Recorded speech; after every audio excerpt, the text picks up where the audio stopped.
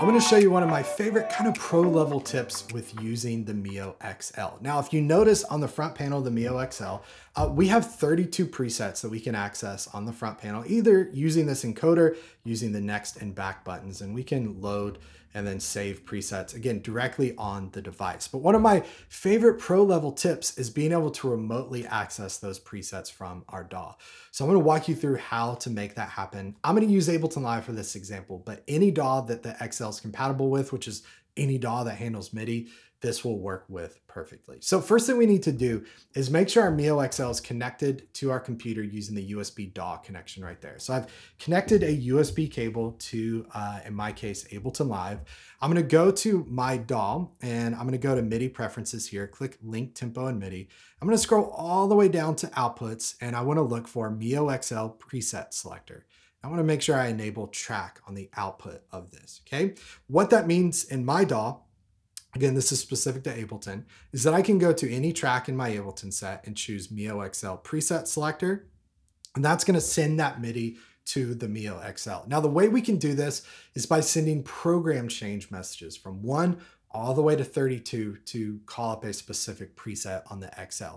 Now I'm going to show you how to do this in Ableton Live again specific to this DAW, but whatever DAW you're using, just look up how to create program changes, send that either one to uh, um, any number between one and 32, and you'll call up that exact preset. Let me show you how to do this in Ableton. So first thing I'm going to do is go to this track here. I'm to double click to create what's called a dummy MIDI track. Let's call this preset one. Now I'm in Ableton Live 12, so I'm gonna go down to my launch box here. I'm gonna go to the bottom where we see bank, sub, and program. And in program, I'm gonna type one.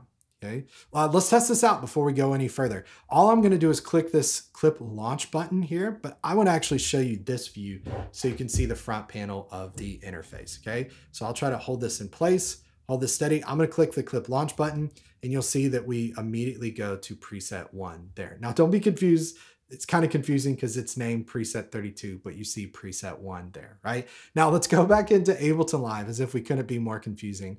Uh, let's create a new clip and let's jump to preset 32. So I'll type 32 down here, okay? And I'm going to launch this clip here, but I'll show you on the front panel, we jump to preset 32, which is ironically enough, also named preset 32. But let's jump from there to, uh, look, another preset 32. Let's jump to preset 11, okay? So I'm gonna go back to preset two, uh, let's load this and I'm going to jump to preset 11. How do I do that in Ableton? Create a MIDI clip, go to program, type 11, and then we're going to click the clip launch button to launch it. And as soon as we do that, we jump to preset 11, which thankfully is named preset 11. So pro tip, don't name presets other than preset 32, preset 32, or it ruins your video.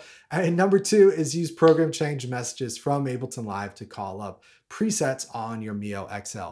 This is super helpful in a studio setup where you've got a lot of configurations and a lot of routings done.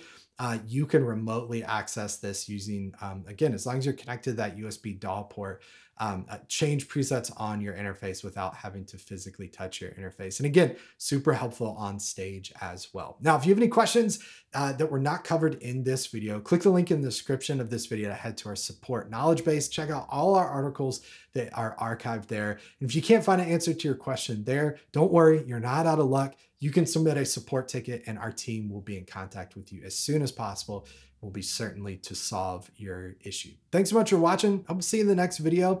And uh, make sure not to name any preset other than preset 32, preset 32. All right, see you on the next one. Bye, everybody.